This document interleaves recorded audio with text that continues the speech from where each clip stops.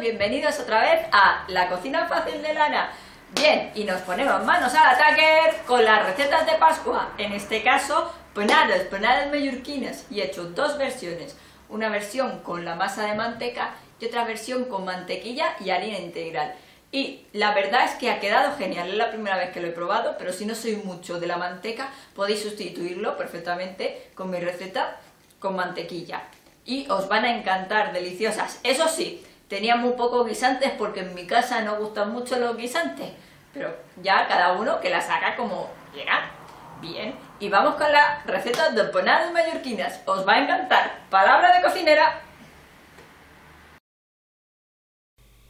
Para nuestras empanadas o panadas vamos a necesitar una taza de manteca de cerdo, una taza de aceite de oliva suave, dos tazas de leche, un kilo doscientos de harina de repostería o harina floja, aproximadamente, una cucharadita de sal, esto es opcional, cebolla, guisantes, carne de cerdo o de pollo, yo usé de cerdo de la parte de la bola y de pechuga de pollo, sobrasada, especias, sal, pimienta y pimentón.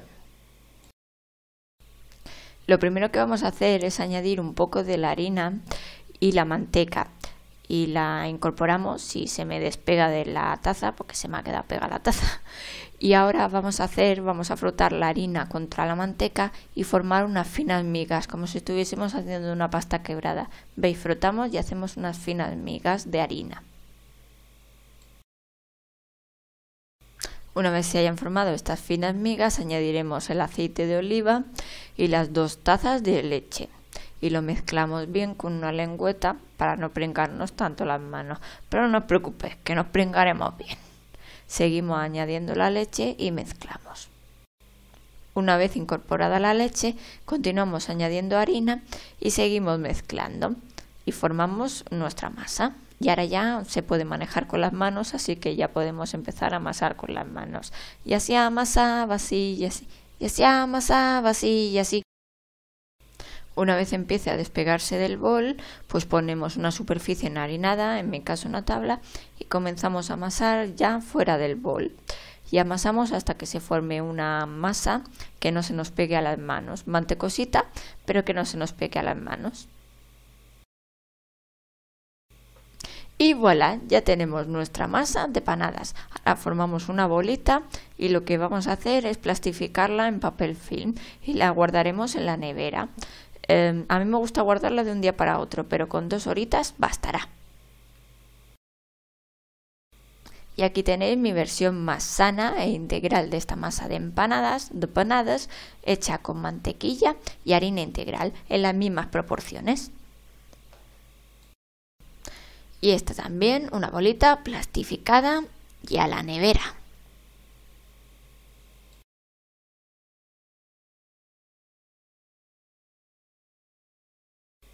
Ahora lo que vamos a hacer es coger la carne y hacerla a trocitos, con cuidado de no cortarnos. Primero hacemos tiritas pequeñas y después haremos daditos.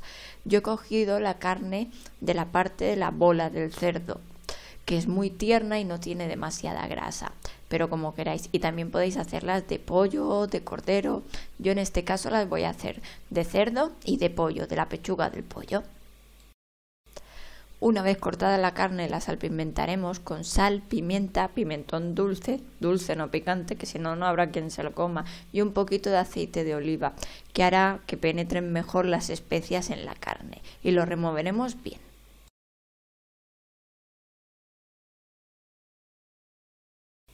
Una vez haya reposado la masa, la partimos por la mitad, la otra mitad la dejamos en la nevera y trabajamos con esta mitad que tenemos y la partimos en trocitos. No hace falta que sean muy exactos porque yo los suelo pesar.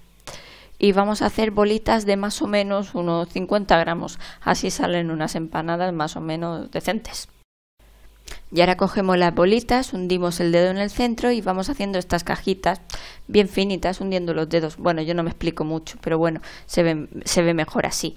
Y vamos haciéndolas bien redonditas. Añadimos un poquito de cebollita que yo he pochado, que a mí me gusta, un poquito de carne, unos guisantitos. Y si queréis podéis añadirle un poquito de sobrasada, que es muy típico mallorquín.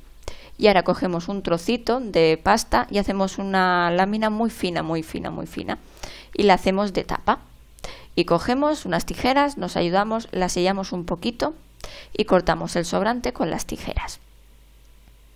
Después vamos a hacer el típico pinzamiento mallorquín, porque yo el trenzado no me atrevo, a mí no me sale.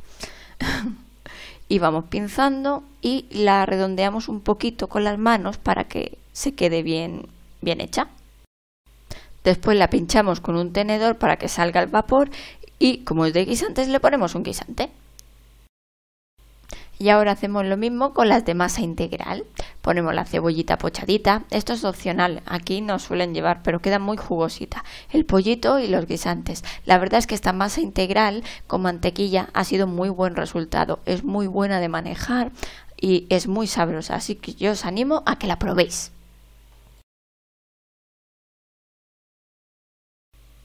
Y ya solo nos queda meterlas en el horno a unos 175 grados centígrados hasta que queden doradas, crujientes y con la base bien cocida.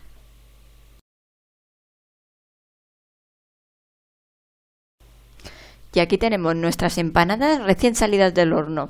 Mmm, qué olorcito. ¿Alguien quiere un pedacito? Espero que te haya gustado esta receta. Si te ha gustado, puedes regalarme tu like, compartir, comentar, como tú quieras. Y no olvides suscribirte a mi canal de YouTube para estar al tanto de todas las recetas. Y recuerda que puedes apoyarte en mi página web, la cocina fácil de Lara, blogspot.com. Hasta la próxima semana con otra receta. Un besito.